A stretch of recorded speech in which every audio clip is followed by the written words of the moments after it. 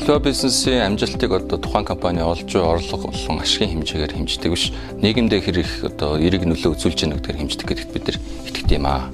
За санхүүгийн зах зээл дээр бол банк, даатгал, хөрөнгийн зах гэсэн үндсэн гурван одоо тулгуур баг нь байдаг.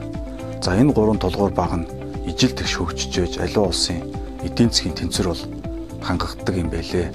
За даатгалын бизнесийн одоо мөн чанар нь одоо юу гэхээр нийгэмд байгаа эрсдлийн талаар бусдад одоо таниулж төрийг бууруулах талаар арга хэмжээ авч тухайн эрсдлийг шилжүүлж авдаг бизнес байна. Тэгэхээр эрсдэл гэхээр одоо зөвхөн одоо зам тээврийн осолч гэдэг юм уу эсвэл эрүүл мэндэд очих эрсдлээр бол хязгаарлахгүй нь бол өөрхөн ойлголт байдаг. Тэгэхээр одоо бид нэр Монгол улсынхаа эдийн засгийн нуруундаа үрж явж байгаа мянган мянган бизнес эрхлэгчид тэнд ажиллаж байгаа хэдэн зуун мянган ажилчид түүний гэр бүлийнхний эрсдлийг одоо бууруулах тэрийг шилжүүлж авахад өөрсдийн одоо одоо хувь нэмрийг оруулах гэж энэ бизнесийг анх эхлүүлсэн байнамаа.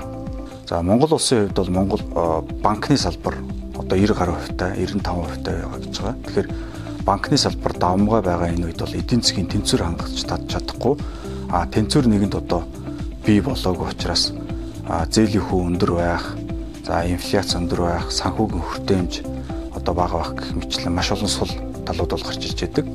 Өнөөдөр Монголын банкны салбар нийт актив хэмжээ 30 их 80 төгрөгт бол хүрж байна. Гэтэл дадлын салбар бол 200 тэрбум хүрэхгүй байна. Тэгэхээр энэ бол бидний өмнө нэг талаас бол магадгүй маш их боломж, нөгөө талаас ямар их одоо хийх ажил байгаа вэ гэдгийг харуулж байгаа юм зүйл юм аа. За мандал гэж энэ үг маань өөрөө санскритаар шим хурах гэсэн утгатай ийм үг байгаа юм. Ягаад мандал гэж одоо компани нэрлсэн бэ гэхээр ер нь одоо энэ мандал гэдэг үг бол Азийн зах зээл дээр ялангуяа буддист соёлтой энэ улс орнууд өргөнд харгасан. За шим хурах гэж одоо санскрит анхны утга нь байгаа. За монгол хэлээр бол одоо аливаа юмны дээд төвшин мандал одоо дээдлийн төвшин гэдгийг бол илэрхийлдэг. Даатгал гэдэг нь болохоор нийгмийнхаа эрсдлийг одоо шилжүүлэн авч нийгэмдээ одоо сайн сайханд нь хүрхт нь өөрийнхөө хувь нэмрийг оруулдаг аа.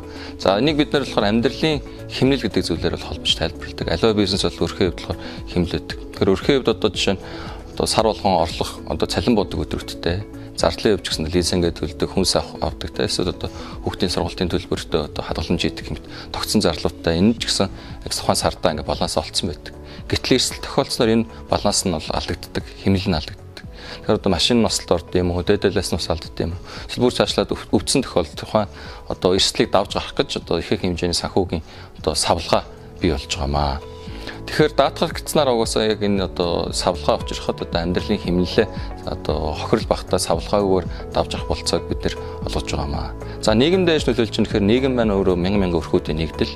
Тэгэхээр тэр мянган мянган өрхүүд маань өөрөө савл одоо элдв эрс тохиолдоход одоо савлгаагүйгээр давж гарч одоо тэр үнэтэй цаг хугацаа тий эд хөрөнгө одоо сайн сайхан зүйлсүүдээ болохоор ирээдүйн одоо өсөл хөгжил гэдэг зүйл төр зарцуулбал одоо нийгмийн сайн сайхан гэдэг зүйл рүү хүрч байгаамаа.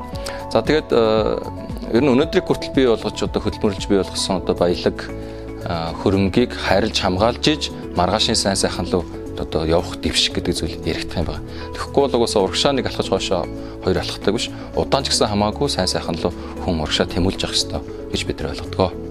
Одоо мандал даатгалын хамт олонны гол үндсэн зорилго бол одоо хизээ нэгэн цагт Монголын хүн болгоныг эд хөрөнгийн за хариуцлагын амь насны одоо даатгалаар даатгалтай болох тэр боломж нөхцөлийг бүрдүүлэх гэсэн одоо ийм байдлаар бол томьёологдож байгаа. 2011 онд мандал даатгал одоо даатгалын салбарын 15 дахь компани болгон үүсгэн байгуулагдсан. 5 жилийн дараа буюу 2016 онд топ 3 даатгалын компани нэгүүлж чадсан. За 2018 оны эхний удирлын байдлаар санхүүгийн ихэнх үзүүлэлтээр болохоор номер 1 орлогын хэмжээгээр зах зээл эзлэх хэмжээгээр нэгт орсон байдалтай байна.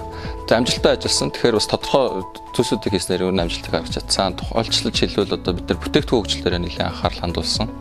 За тэгэхээр бид нэр бүтээгдэхүүн хөгжлөөр амьдралд ойр олон улсын одоо стандартыг хангасан төлбөрийн тавтаа нөхцөлтэй гэдэг шалгууруудыг тавьж бүтээгдэхүүнүүд гаргасан. За тэгэхээр амжилттай гаргасан бүтээгдэхүүнээс юм бол сонголт тээврийн хэрэгслийн даатгал, жаргалан хувийн эрүүл мэндийн даатгалын анхудаа гаргаж зах зээлд нийлүүлснээр маш амжилттай явж байгаа.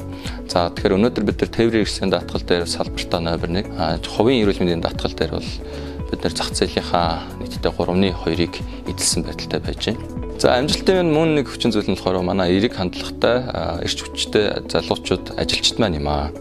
За манай салбарын одоо нэг дунд ч одоо бүтээмжийн хувьд болохоор нэг одоо ажилтнанд оногдох хураамжийн орлого 9 сая гэдэг бол мандал даатгалын хувьд бол 25 сая төгрөгийн хураамжийн орлого нэг ажилтнанд оногдож байгаамаа. Ингээд явандаа одоо дэлхийн ялангуяа Азийн даатгалын зах зээл дээр бид нар одоо тэлнэ. За Монголтой адилхан даатгалын зах зээл сул хөгжсөн олон улс орн байж байгаа. Камбож байна. За Бирм гэж ярьдаг. Мянмар байна. Киргиз байна. Казак байна. Узбек байна. Тажик байна. За Вьетнам байна. Тэгэхээр олон 10 сая хүнтэй ийм зах зээлүүд бол байна. Тэгэд энэ зах зээлүүд рүү одоо Монголын анхны даатгалын одоо групп болж тэлье. Тэгэд улс орондоо бас экспортын орлого оруулах. Экспорт гэхээр бид нар зөвхөн нүүрс зарна, ноолуур зарна гэж боддог. Гэтэл санхүүгийн экспорт гэдэг бол өөрөө бас олон улсад маш том ийм экспортын төрөл байдаг. Энийг одоо бэлэгдэж бид нар энэ нэрээ бол өгсөн. 2017 онд Монгол улсын эдийн засаг 5% өсөхөд э, даатгалын салбар 25% өссөн. Харин бид 72% өсөлтийг үзүүлж чадсан. Тэгэхээр үүнээс чааш ч гэсэн өсөн дэвжих орон зай маш их байна гэдэгт бүрэн дүүрэн итгэлтэй байна. Даатгалын салбарын шин мандайлагч мандал даатгал